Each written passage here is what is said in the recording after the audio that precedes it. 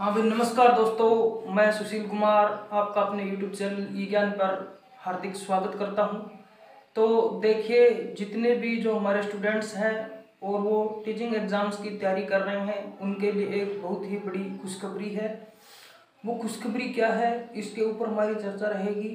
तो ये है कि डी ट्रिपल एस बी ने अभी एक नोटिफिकेशन आउट किया है।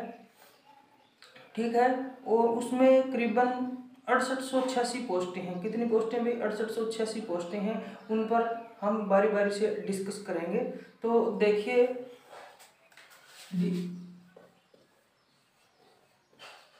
डीएसएसबी ने एक नोटिफिकेशन है, वो आउट किया है।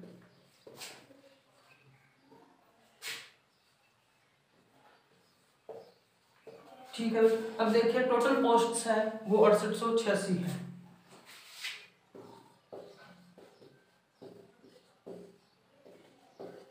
अड़सठ सौ छियासी पोस्ट हैं, ठीक है? इसमें देखिए पीआरटी की भी है और टीजीटी की भी है। पीआरटी की पोस्टें है वो कम है भाई। ठीक है? पीआरटी की पोस्टें हैं वो कम है। कितनी है? पाँच सौ चौपन पोस्टें हैं। पाँच सौ चौपन पोस्ट हैं। पीआरटी और टीजीटी की है वो ज़्यादा पोस्टें हैं, तिरसठ सौ छत्तीस पोस्टें हैं।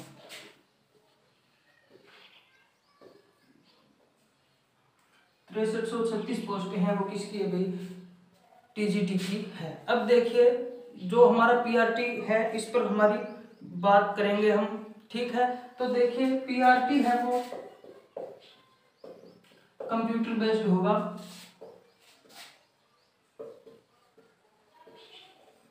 क्या होगा भाई? कंप्यूटर बेस्ड एग्ज़ाम होगा। और पीआरटी में दो प्रकार की पोस्टें हैं, ठीक है पीआरटी में कौन कौन सी दो प्रकार की पोस्टें भी एक तो डीओई डायरेक्टर ऑफ़ एजुकेशन की, और दूसरी है वो है एनडीएमसी की पोस्टें हैं।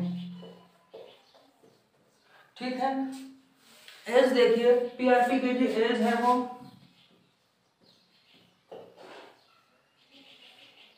Thirty years. कितनी है भाई थर्टी ईयर्स है। ठीक है? और जो हमारे कॉन्ट्रैक्ट बेस्ड टीचर होते हैं, यानी एडहॉक टीचर जो दिल्ली में होते हैं, उनके लिए रिलैक्सेशन है वो?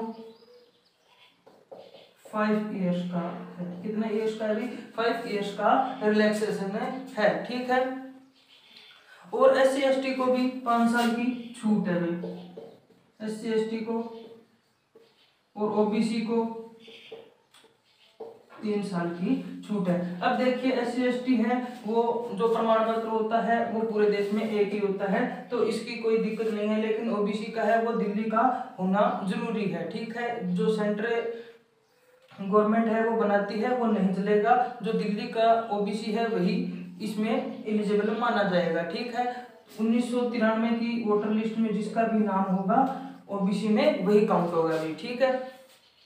दिल्ली का वोटर होना ज़रूरी है, ठीक है? अब देखिए एग्ज़ाम फॉर्म कब भरे जाएँगे? एग्ज़ाम फॉर्म कब भरे जाएँगे भाई 25 मई से स्टार्ट हो जाएँगे। कब से स्टार्ट हो जाएँगे भाई 25 मई से स्टार्ट हो जाएँगे और 24 जून तक चलेंगे। कब तक चलेंगे भाई 24 जून तक चलेंगे, ठीक है? और इसकी जो फ़ीस है, वो हमारी है सौ रुपये सौ रुपये फ़ीस रहेगी, ठीक है? अब देखिए एलिजिबिलिटी क्या है? क्या हम इस पर बात करते हैं भाई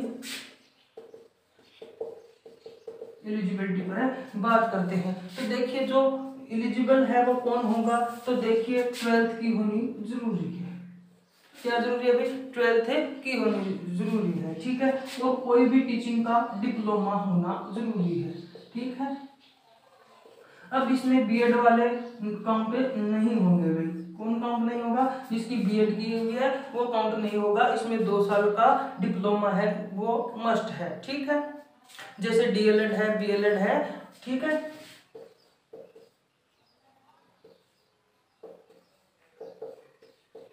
डीएलएड और बीएलएड वाले काउंट होंगे और देखिए सीटेट सीटेट है वो कंपलसरी है। सीटेट है वो। फ़र्स्ट पेपर कंप्लीट किया होना चाहिए, तभी हम पीआरटी का फॉर्म भर सकते हैं। फिर देखिए, हम बात करते हैं नर्सरी टीचर की। इसके बारे में बात करते हैं भाई नर्सरी टीचर की। अब देखिए नर्सरी टीचर है। नर्सरी टीचर के लिए एनटीटी का कोर्स किया होना आवश्यक है, ठीक है? और ये दो साल किया होना ज़रूरी है। एक साल होता था वो मान्य नहीं होगा। इसकी पोस्ट है, वो कम ही है सेवेंटी फोर पोस्ट से है भाई, ठीक है? और दिल्ली बोर्ड भी ईसीसीई सी का पोस्ट करवाता है, वो अगर किया है तो चल जाएगा। ठीक है भाई? हमने बात कर ली। अब देखिए टीजीटी के लिए उम्र कितनी है? टीजीटी के लिए उम्र की बात हम करते हैं।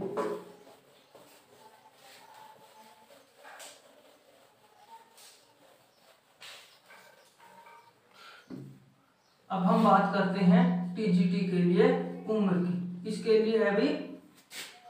थर्टी टू ईयर्स कितनी अभी थर्टी टू ईयर्स है, ठीक है? और इसमें है, वो ग्रेजुएशन मांगा गया है। ग्रेजुएशन के साथ कोई भी टीचिंग का डिप्लोमा बीएड ठीक है? बीएड है वो, इसमें मस्ट है। और इसमें सीटेड क्वालिफाइड है इसमें भी होना चाहिए, भी सीटेड क्वालिफाइड होना चाहिए और सेकंड पेपर है होना चाहिए, अगर आप टीजीटी के लिए एलिजिबल है, होना चाहते हैं तो ठीक है। अब हम बात करते हैं नेगेटिव मार्किंग की नेगेटिव मार्किंग है या नहीं, इस पर बहुत क्वेश्चन पूछा जाता है। तो इसकी वन फोर्थ है वो नेगेटिव मार्किंग रहेगी। कितनी रहेगी भाई? वन फोर्थ नेगेटिव मार्किंग रहेगी, ठीक है? और 200 200 नंबर्स का पेपर है। कितने नंबर का पेपर है भाई? 200 नंबर का पेपर है। पेपर ए है, वो 100 नंबर का है और पेपर बी है, वो भी 100 नंबर का है। ए में कितने? सीजीटी में कितने आएँगे भाई? तो देखिए, इसमें आएँगे फाइव सब्जेक्ट ठीक है? फाइव सब्जेक्ट कौन कौन से हैं? जीएस है इंग्लिश है रीजनिंग है मैथ है, हिंदी है। जर्नल अवेयरनेस है, हिंदी है इंग्लिश है।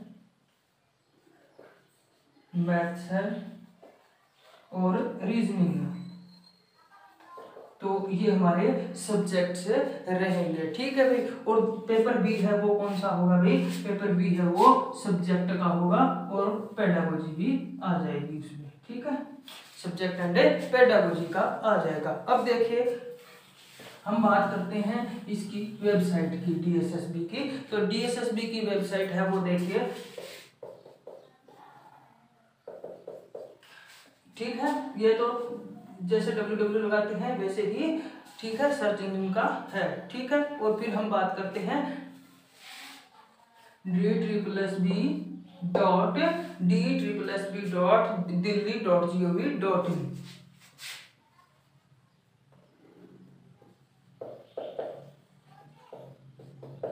ठीक है? इस पर जाकर हमें फॉर्म है, वो अप्लाई कर सकते हैं और सौ रुपये हमारी फ़ीस रहेगी। और देखिए, अगर आप टीचिंग एग्ज़ाम्स की तैयारी करने चाहते हैं तो हमारे चैनल को ज़रूर सब्सक्राइब करें और वीडियो को लाइक ज़रूर कर दें। ये बहुत ही बड़ी अपॉर्चुनिटी है इस लॉकडाउन में।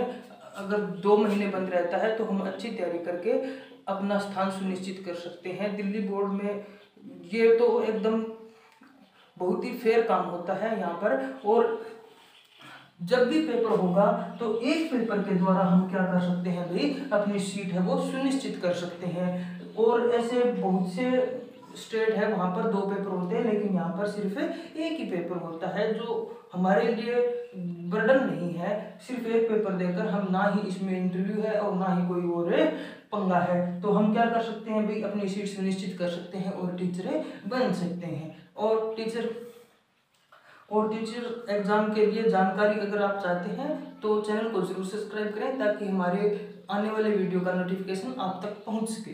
धन्यवाद।